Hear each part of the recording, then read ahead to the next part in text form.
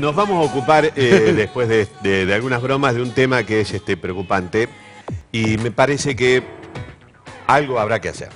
Yo, la verdad que no sé, sospecho que se pueden estar haciendo muchas cosas, pero en realidad la gente todavía no está viendo los resultados y me refiero concretamente a los problemas de inseguridad. Sí es. Eh, si le sirve al gobierno, bueno, pues que tome eh, lo que nos sucede a nosotros a través de nuestras eh, redes de comunicación, a través de los mails, los correos, el Facebook, el Twitter, la línea vecino, etcétera, etcétera. Son demasiados los reclamos por el tema de inseguridad. Y ahora, en función a lo que hoy publica también el día a día en la tapa, un reclamo concreto. Parece ser que ha ido contagiando esto que inventó el gato Romero, que me pareció una, una medida como apresurada y egoísta, decir, bueno, me salvo yo, llamo y pido, como tengo un amigo allá, que me mande la gendarmería. Lo veo yo desde ese punto de vista.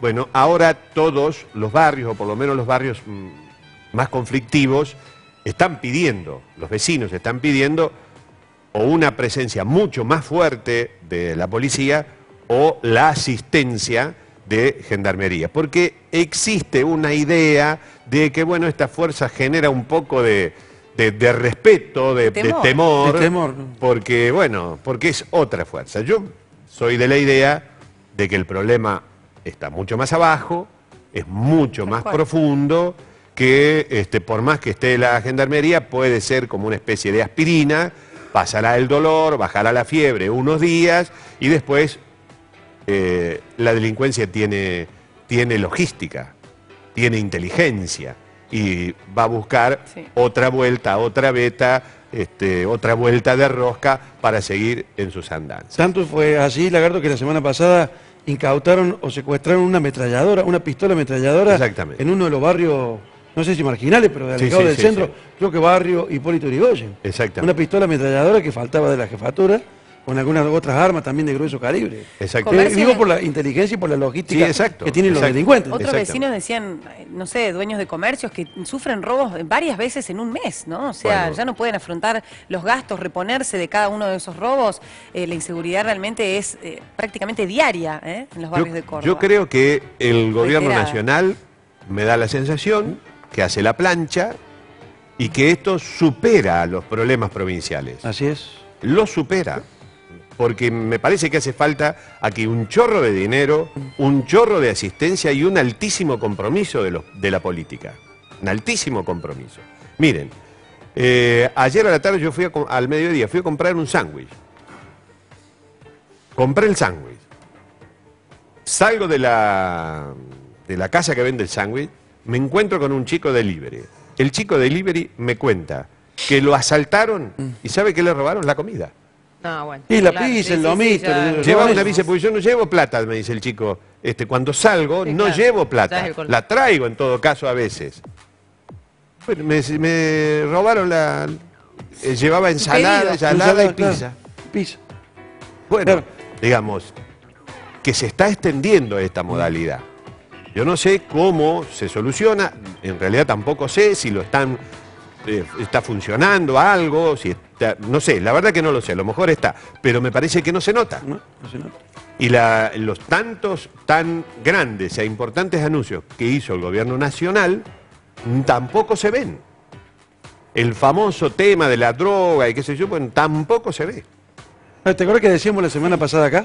Que coincidíamos todos cuando hacía una editorial de que en la Argentina se habla solamente de plata. Solo de plata. Desde que asumió Macri, que según lo que ha dicho el propio presidente, encontró un país devastado, con muchos problemas que obviamente son reales, económicos, financieros, de plata, etcétera, Banco Central, dólar, La ruta del de dinero, la ruta del dinero, Sí. está todo bárbaro. Pero se habla solamente de dinero.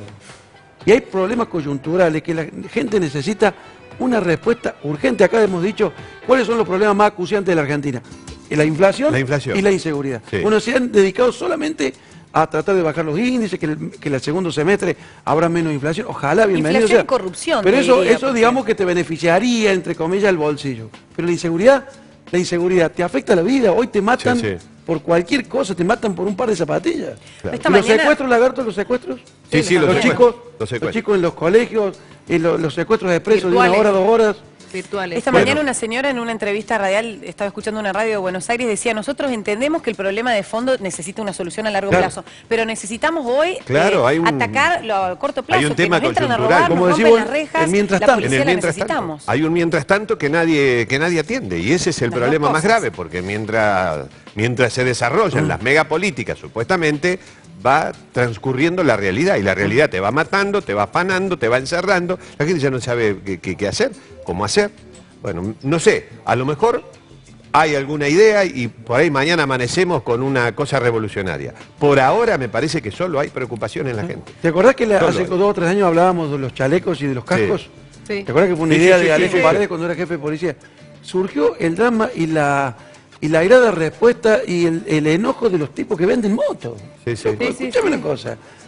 No le den bola a los tipos que venden motos, que busquen una otra forma. No van Si a era, una medida, era una medida, era un paliativo. Yo no digo que con el casco y con el chaleco, pero una posibilidad de que la policía identifique. Hay que prohibir que las motos anden de a dos, porque el que viene atrás normalmente te, te roba. Digamos, estamos generalizando, sí, pero algo hay que hacer para atacar este flagelo.